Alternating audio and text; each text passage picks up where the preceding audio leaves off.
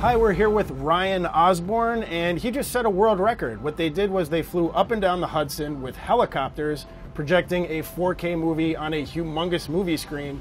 That doesn't sound too easy, so let's figure out how they did it.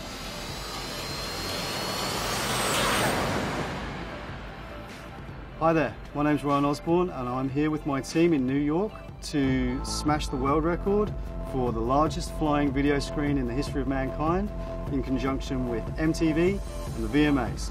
Bring it on.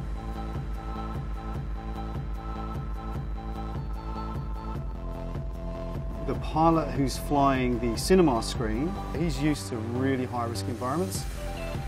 But then we get to the, the Huey pilot who is flying the projector.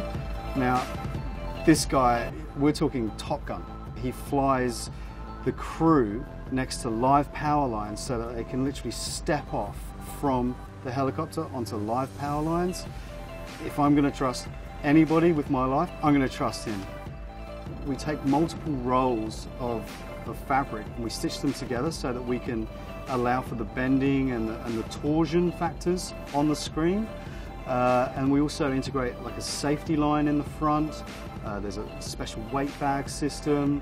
The, the air pockets are specific to each size and shape banner. When we got here and did our calibration flights, it all paid off. There have been approximately 68 billion humans who've ever lived on this planet, and none of them have ever done this.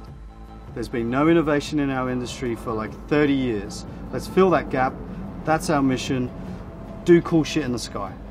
If you imagine the Statue of Liberty, how high the Statue of Liberty is, our banner is that wide. It's about 250 foot wide. So if you can see the Statue of Liberty from like halfway up the Hudson, you'll see our banner. Miles. It's massive. We've got about 100 foot of latitude. We can fly closer or further away and the system adjusts all the rotation, scale, focus.